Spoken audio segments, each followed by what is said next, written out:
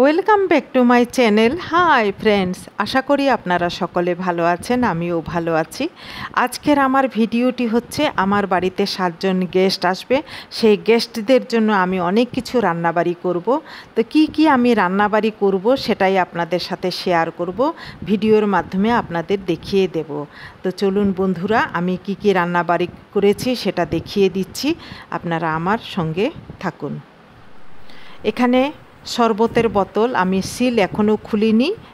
গেস্টরা এলেই আমি সিলটা খুলব। আর এটা হচ্ছে লঙ্কার আচার। লঙ্কার আচার ডাব্বাও খুলিনি। পুর ভরা লঙ্কার আচার। লঙ্কাটার আচার ভীষণ টেস্টি গরম ভাতে তো ভীষণ টেস্টি এই আচার। আপনারাও খেয়ে দেখবেন লঙ্কার আচারটা। আর এখানে চিংড়ি আর আলু দিয়ে রসা বানিয়েছি, আদা, রসুন, পেঁয়াজ দিয়ে, গরম মশলা দিয়ে ঝাল ঝাল করে এটা বানিয়েছি রসা। শলা কচুর মাঝের অংশটা আমি ডুমো ডুমো করে কেটে এখানেও একটা সবজি বানিয়েছি, এটাও খেতে ভীষণই টেস্টি।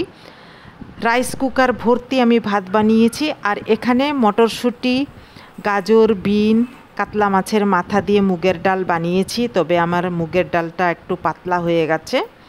তো যাই হোক, পাতলা হয়ে গেছে, একটু ঘন করে নেব। আর এটা শলা কচুরেই অনেক কিছু আইটেম বানিয়েছি। শলা কচুর যে পেছনটা থাকে, থেতলে চিপে নিয়ে আতপ চাল দিয়ে আমি বড়া বানিয়ে নিয়েছি। এখানে সোয়া কিলো মাটন রয়েছে। দেখতে দেখুন, কেমন লোভনীয় হয়েছে মাটন। আর এটা ঢেকি শাকের ভাজা, আপনারা অনেকেই খেয়েছেন ঢেকি শাকের ভাজা, অনেকে চেনেন না। ঢেকি শাক ভাজা আমি টমেটো দিয়ে বানিয়েছি, খেতে ভীষণই টেস্টি। আর এটা হচ্ছে সর্ষে পোস্ত কাঁচা লঙ্কা দিয়ে ইলিশ মাছের ঝাল। আর এটা হচ্ছে শলা কচুরি বললাম অনেক কিছু আইটেম বানিয়েছি। এটা হচ্ছে শলা কচুর যে আগাটা, সেই আগাটাই এটা আমি কচু শাক বানিয়েছি ইলিশ মাছের মাথা দিয়ে। খেতে ভীষণই টেস্টি। এখানে আমি চাটনি বানিয়েছি, টমেটো, খেজুর, কাজু, কিশমিশ, চিনি দিয়ে আমি চাটনি বানিয়েছি। দেখতে কেমন লোভনীয় লাগছে। এখানে স্যালাড কেটেছি, আমি গাজর কেটেছি শশা কেটেছি, পেঁয়াজ আর লেবু এখনও কাটিনি। কিছুক্ষণ পরে আমি গেস্টরা এলেই কেটে নেব, আগে ভাগে কাটিনি।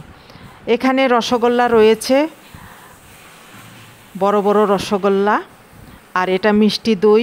খেতে ভীষণই টেস্টি এই মিষ্টি দই। দেখুন, দেখতে কত ভালো লাগছে। আর এখানে আম রয়েছে। এখন তো প্রচুর পরিমাণে আম পাওয়া যাচ্ছে।